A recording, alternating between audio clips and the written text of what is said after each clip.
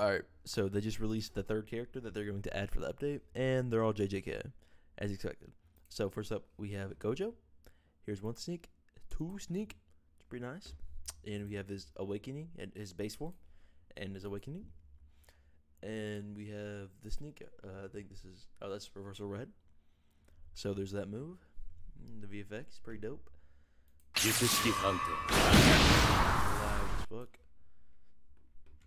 Nice little AoE knockback. We got, I think that's his ultimate. I don't know how that works. Just nice little ultimate.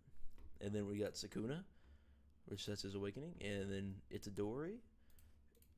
Some, I think that's his awakening. Or that's, yeah, this is awakening. And then Toji for the last one.